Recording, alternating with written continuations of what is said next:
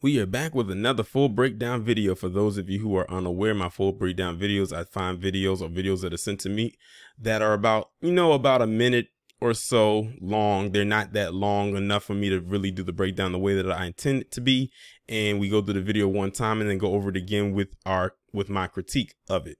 So y'all see who we here, who's here on the screen, right? And I think, believe it or not, this might be the first time I have a BlacKKKaren entry for the Coonstress. I know you're probably saying, what took so long, considering there are so many opportunities for me to do so. But I'd be trying to stay clear of this woman, considering who she is and what the hell she talks about. But this one I could not ignore. And I happened to just be scrolling on my timeline, and the amazing Lucas retweeted it on his timeline, and I saw it but the caption is what uh, I guess you could say uh, uh, reeled me in to wanting to talk about it. But I'm going to play the video. And this is the Coonstress at a Turning Point USA event. One of the few events that she still gets invited to, if not the only, besides Fox News, but that's not an event, that's just a tragedy. And so was TPUSA, quite honestly. And I thought they cut ties with her, but anyway. Let's go ahead and play this and see what the hell she's talking about. We've now somehow gotten into the society where people are pretending what we're doing is equality and it's not. If we have ever achieved equality in this country, then you wouldn't blink if anybody says Asian lives matters, no one blinks. Black lives matter, no one blinks. But white lives matter, they fell apart, right? They fell apart because they actually, and I will stand by this as much as I possibly can, and I will be the loudest voice the actually worst thing to be in this society, if one thing I would not want to be, is a straight white male. For some reason, that's considered problematic, right? You have to be something. Why people lie. They're lying on college applications. They're like, okay, I'm white, uh, but I'm also trans. And you're like, what? Why are you pretending? Because, oh, I don't want people to think I'm too normal, right? And people, you know, they're just trying to find something that makes them not white right? And it's really staggering to think that once upon a time that is exactly what the experience was for a black American, that being a black American was so problematic that you weren't going to be allowed into the room. Now you have the exact same thing happening reverse and you have liberals trying to convince you that that's equality. It's not. All lives matter and that's including white lives matter, you know? Oh my God. Candace, if I could ask you one question, do your arms hurt? Does your back hurt? From carrying the water for white men in particular all your life? Like, really, does it hurt? Because the amount of water that she carries on her back and on her shoulders and in her arms is enough to cause another great flood. Like y'all heard the nonsense. Now we gonna go back and break this down. I, I, would say that the second half of the video, like the next 30 second, the, the, the uh, second 30 uh, half of the video, because since it's a minute long, is probably the worst part of the entire thing. But we're going to go back and we're going to play this again. And of course, this is more of a response to the whole wearing the White Lives Matter shirt. And I think that she probably wore that shirt also so she could come online or go to these different events just so she could talk about why she wore it or to give some baseless explanation as to why she why she wore it. We've now somehow gotten into the society where people are pretending what we're doing is equality and it's not. If we have ever achieved equality in this country, then you wouldn't blink if anybody says Asian lives matters, no one blinks. Black lives matter, no one blinks. But white lives matter, they fell apart. See, that's again, she's saying that Asian lives matter, no one blinks. Black lives matter, no one blinks. Actually, I'm not worried about the Asian lives matter thing. I'm gonna talk about black people. People did blink when it came to that. They got so upset that they created their own little off a shoot one called All Lives Matter, and we know exactly what they did. And then took it a step further and made one called Blue Lives Matter when it came to law enforcement. But you know, blue is like is just a representing of a uniform. It's not a skin tone unless you're a Smurf, which we also know do not exist. Then she goes on to say that, you know, with White Lives Matter, it, it fell apart. Like, it's crazy. You have this woman up here who is, as far as I'm concerned, ashamed to be black. And that's why I said I, am convinced she doesn't have mirrors in her home. That way she doesn't have to look at her own reflection. That's actually the commonality. Uh, that's a, a trait with a vampire. But she walks around during the day, so we know that can't be it. And she's far from a daywalker like Blade, so there's that. But she literally pedestalizes white people, especially white men, so much that even they are getting tired of her. And I'm gonna actually talk about that towards the end of the breakdown. Right. They fell apart because they actually, and I will stand by this as much as I possibly can, and I will be the loudest voice. They actually worship. you are right now the loudest voice, even louder than other uh, people that you're talking about. That's how how much of a nuisance she is. She's probably the only voice too. Well, I take that back. She probably isn't, but she's one of the few that gets a platform where she can get uh, get up there and spew that nonsense. First thing to be in this society, if one thing I would not want to be, is a straight white male. For some reason, that's considered problematic. She said the actually worst thing to be in the society, if one thing I would not want to be, is a straight white male. Basically saying that now it's a stigma to be a straight white male in the society. Since when? They have everything that works in their favor. Now things fall apart uh, for them in, in, in this system that is built for them to thrive. Then that's on them. So I don't know where she's getting this talking point from. Something tells me, you know what? This woman doesn't have an original thought in her head. Everything she gets comes from these right wing leaning uh think tanks, these echo chambers that do nothing all day but circle jerk. And I bet you she probably wishes she could be a part of it. I have a feeling that if Candace Owens wasn't in the position she was in, she would probably be a ghetto gagger. She, I'm just saying, she probably would be. I'm just being completely honest with you because she manages to perform quite often. Not in that sense, but in this one. Right? You have to be something. So people lie. They're lying on college applications. They're like, okay, I'm white, uh, but I'm also trans. And you're like, what? Why are you pretending? Because uh, Candace, have you seen a college application to actually confirm what you just stated about them saying I'm white, but I'm also trans? Because I would like you to actually send like people a screenshot of that. Oh, I don't want people to think I'm too normal, right? And now peep that. I didn't catch that the first time. She says I don't want people to think I'm too normal. So in her eyes, to be to be a PC straight white man is to be normal, but everything else is abnormal. Even black people such as herself. So Candace, you think you, you think that low of yourself that you think you're abnormal? Well, guess what? Many will agree with you, but it has nothing to do with you being black. It has everything to do with your abnormal mentality. People, you know, they're just trying to find something that makes them not white, right? And Huh?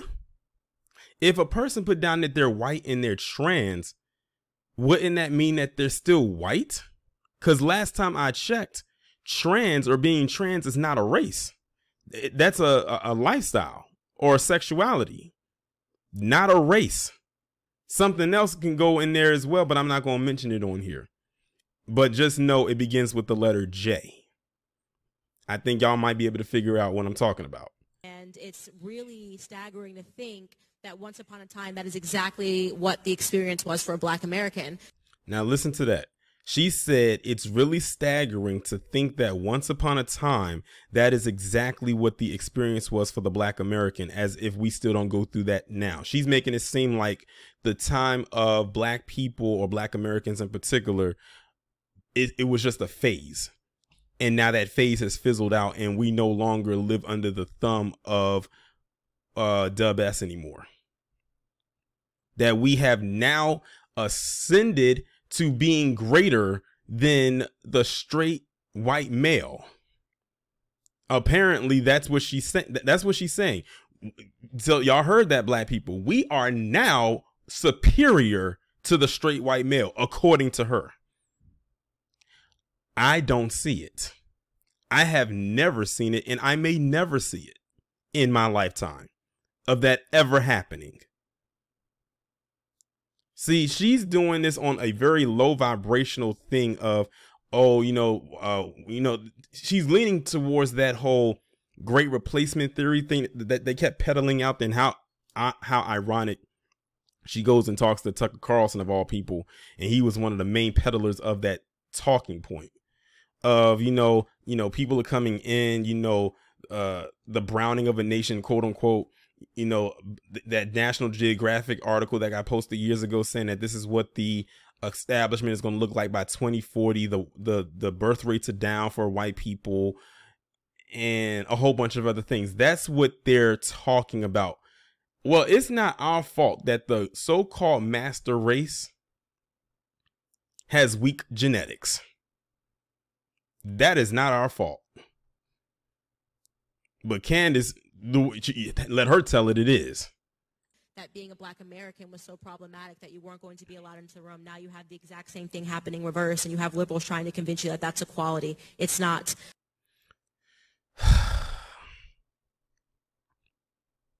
Let me run that part back one more time, just a little bit. Was so problematic that you were uh, experience was for a black American. That being a black American was so problematic that you weren't going to be allowed into the room. Now you have the exact same thing happening reverse, and you have liberals. So basically, she's trying to say that black people, because at one in her in her words, once upon a time we weren't allowed into the room, but now we are, and even that's questionable. That the same is happening with straight white men that they're not even allowed to be in the room. Excuse me, they are allowed to be in the room. And let's just hypothetically say that they aren't. They built the room. They built the table in which that room, I mean, in which sits in that room, in the chair, in the foundation. They built it. So they don't have to be in the room, Candace. They own it. As far as I'm concerned, anyone who comes to that table or is in that room is an employee. The one who built the room is the owner. So what are you talking about? Trying to convince you that that's equality. It's not. All lives matter, and that's including white lives matter. Mm. All lives matter, and that includes white lives matter. She thinks she says something so profound. This woman thinks she is so smart, and she is so stupid. So stupid, in fact, that many white men in the thread, I'm not going to show it, so just take my word on it, were basically saying, Candace, shut the F up. We do not need you speaking for us. Okay? Because one thing a lot of white men are not going to tolerate is a lot of their women speaking on their behalf, or quote unquote, in the tone that she's doing right now. And she's not even one of their women. But see, the thing is, she has been pedestalized so, or put on a pedestal so high by um, white society that she thinks she is the voice for them. And in a lot of in, in some cases, they have allowed that to happen. So it's a double-edged sword. On one hand, I can see why they would be upset and pissed about why she's getting up there saying the stuff that she's saying, even though none of it makes a lick of sense. And I would completely be on their side. And if I was a white male, I would be looking at Candace like, what are you doing? We don't need you to talk for us. We don't need you as a mouthpiece or a mascot even though technically she kind of is a mascot. She's the court jester. On the other hand, or on the other end, white society propped her up. And only white society is going to be able to bring her down. I kept telling people that when Candace gets her wake up call, and I'm talking about a supreme wake up call that she cannot bounce back from, because she's had little mini ones here and there, but she manages to bounce back from. I'm talking about the one that will literally end her career. Only they can do that. We can't do it. Look at Stacey Dash. Granted, we are the ones that helped give her, you know, relevancy and, you know, with a career. But at the end of the day, the people who asked that she kissed so much are the ones that brought her down. Same thing with Paris Dennard. Even though Paris Dennard really, we wasn't rocking with him from jumping. Now you don't hear about him no more. Same with David Clarke and so many others the Sambo of this society is going to be bought down by the same people who ask they kiss every single day. And the crazy part about it is Candace has said some things about a particular community in the past that you would think would actually have brought her down. But it only smudged her a little bit. The only person I think that really came to her defense and pretty much saved her was that fast talking dweeby Ben Shapiro. But I find it interesting because Ben Shapiro has some things to say about Kanye West, about some of the same things that he that Candace should have gotten uh, taken down for. And his wasn't even nowhere near to what she said, not even close. But yes, she's still here because in their eyes, she serves a purpose. But like I said, on the flip side, on the first side, a lot of white men aren't rocking with Candace like that. Truth be told, a lot of white people aren't rocking with her like she thinks they are. But at the end of the day, they gave her a platform. Black people did not give Candace Owens a platform. Black people did not endorse Candace Owens. They did. So she, as far as I'm concerned, is their problem, not ours. Granted, yes, we're gonna call her out on the BS that she says, but we know that's what she does to make her money. But truth be told, if they really want to get her or bring her down a peg or two or 10, they're going to be have to be the ones to pull the plug on her whole operation. It's really going to fall on them to clear the table of Candace Owens and only them, not us.